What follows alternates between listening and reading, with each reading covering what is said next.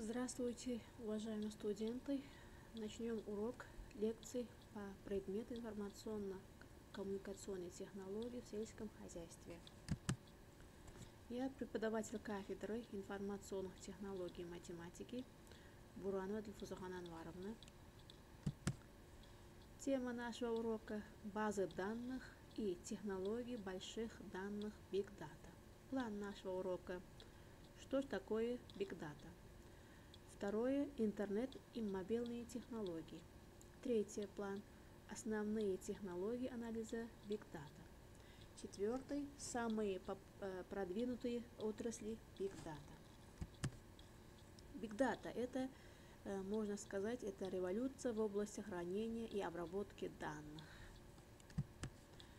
Что же такое Big Data? Big Data – это наборы данных такого объема, так традиционные инструменты не способны осуществлять их захват, управление и обработку за приемлемые на практике, для практики время.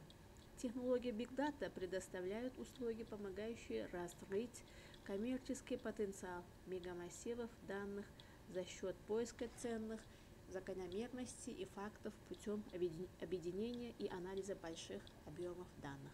В качестве определяющих характеристик для больших данных выделяют три В.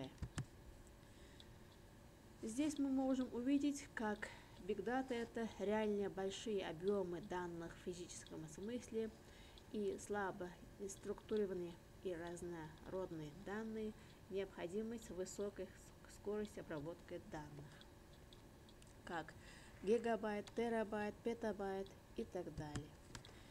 Интернет и мобильные технологии. Э, на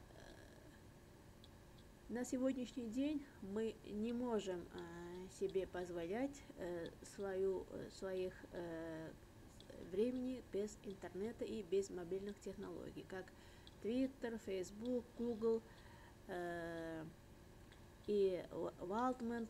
Э, это объем данных, переданных и полученных на мобильные устройства. Основные технологии анализа Big Data. Э, Основные технологии это э, MapReduce, Nadup, NoSQL. Это основные технологии анализа Big Data, как разработанные средствами языка SQL и э, программированных э, или прикладных программ, как SUBD, система управления базой данных. Методы анализа используемых Big Data. Уникальность подхода больших данных заключается в агрегировании огромного объема неструктурированной информации из разных источников в одном месте.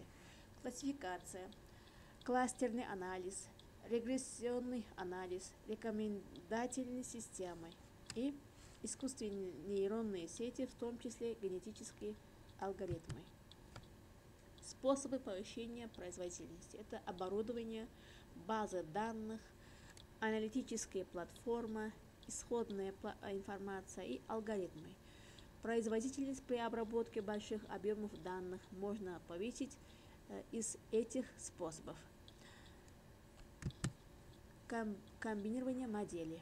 Это пропуская через сито модели можно отсеивать информацию для анализа, который э, бесполезны сложные алгоритмы. Для этих данных можно применять простые и быстрые методы, как сложные GEM-модели использовать там, где это имеет смысл, как жесткое правило высокая производительность и простая модель это средняя производительность и сложная модель это низкая производительность и результат аналитической обработки.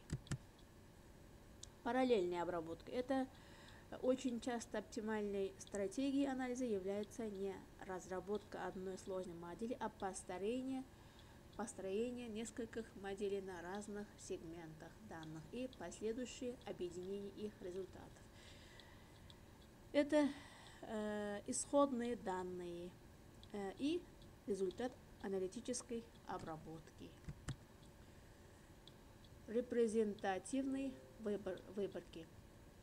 А, Для обработки больших объемов данных нет необходимости перерабатывать всю информацию. Модели можно строить на относительно небольших выборках, а затем применять их ко всему множеству, как исходные данные, репрезентативные выборки, э, построение модели, э, применение модели и результат.